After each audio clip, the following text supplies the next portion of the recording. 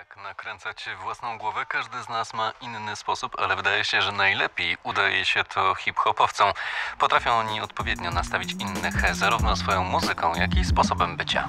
Siema wszystkim, grupa DTP, miasto Kielce. Witamy serdecznie, ja jestem Bonus, tu jest Bąku i Borys. Elo dla całych Kielc. Jaki jest wasz e, sposób na to, żeby nakręcić własną głowę? Na dany dzień, bez problemu, wstaję rano, kawka i lecimy. Dzwony do chłopaków i wszystko się po prostu robi z minuty na minutę. Siadamy w samochód, kumamy się, nagranie, jak przystało na porządnego hip-hopowca, zawsze hardkorowe. Każdy nakręca się nawzajem. On mnie nakręca, ja nakręcam jego. Głowa to jest, wiesz, myśl hardkorowa, właśnie to są te słowa. Jak nakręcić swoją głowę? Mam pomysły nowe, cały czas na non-stopie. Na tym polega nakręcanie się. Nasze życie to totalny spontan. Może na nas patrzą jakoś inaczej. Ja na co dzień na przykład pracuję sobie na stacji robię to, co zwykli ludzie. A to, co robię wieczorem czy za dnia z chłopakami, kiedy mam wolne, no to, to jest tylko i wyłącznie nasz sposób na życie. Na tym właśnie polega nakręcenie naszej bani. Inni nakręcają się na przykład malując, nie? Graffiti albo różne inne rzeczy. Tańcząc. Wszyscy nakręcają się inaczej. No właśnie, jak ja bym chciała się tak nakręcić. Ważne jest, żeby nakręcać siebie nawzajem. Jeden nakręca drugiego, drugi nakręca trzeciego.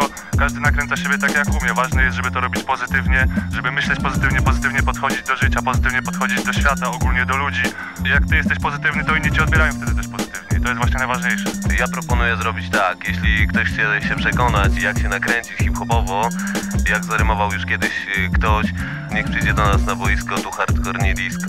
I wszystko. Czy takie nakręcenie hip-hopowe to też pomaga w życiu takim codziennym, kiedy no, trzeba iść do pracy, nie, nie tylko bawić się hip-hopem? Jak idę do pracy, to i też jestem hip-hopowcem, chociaż pracuję 24 godziny na dobę pod krawatem. I mój szef wie o tym, że jestem hip-hopowcem, toleruje to i wiem, że na przykład podoba mu się to, że przychodzę do pracy w szerokich spodniach, a nie w garniturze czy tam, wiesz. Ja jestem sobą, zawsze jestem sobą i zawsze będę sobą, tak jak moi ludzie. Czy każdy hip-hopowiec jest nakręcony, ma nakręconą głowę?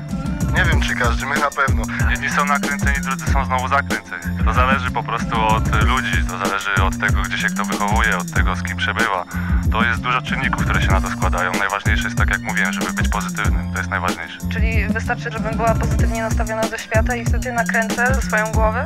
Tak mi się wydaje, że właśnie to jest właśnie sedno tego wszystkiego. Jak chcesz się nakręcić, nieważne jak się nakręcisz. Jak się dobrze nakręcisz, to się dobrze zakręcisz. Taka myśl przewodnia.